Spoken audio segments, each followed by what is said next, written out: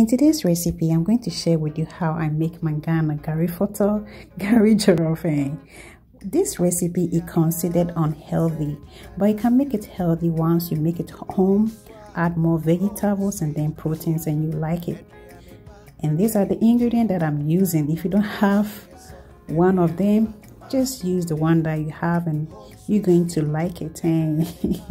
Home sweet food, Adrian Epa, Dankasa. Uh, that reminds me.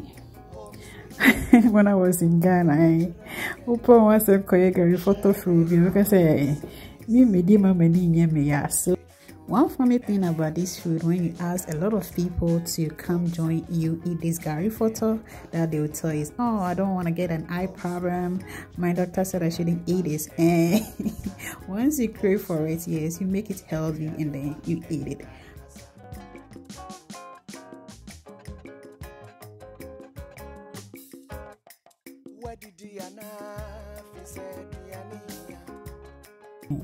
Is a simple recipe and I know you give it a try. Home sweet food, Adrianepa, a tankasa. Keep on watching.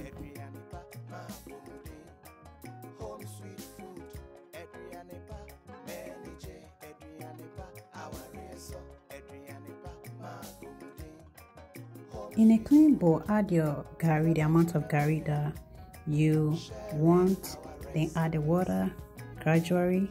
Don't I mean overweight this curry. You're not making curry so that's another recipe and eh? so just add it gradually then. Voila this way. Let's go I mean mix it with the grounded pepper that we did. So add everything in your mixture. And don't forget to mix well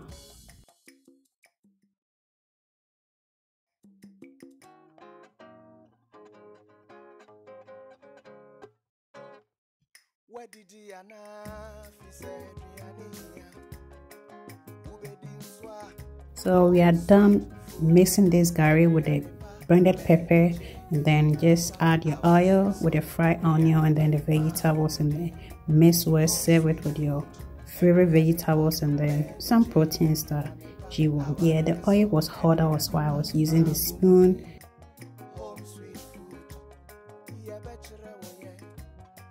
sharing our recipes. Mm. Home sweet food, Adriana.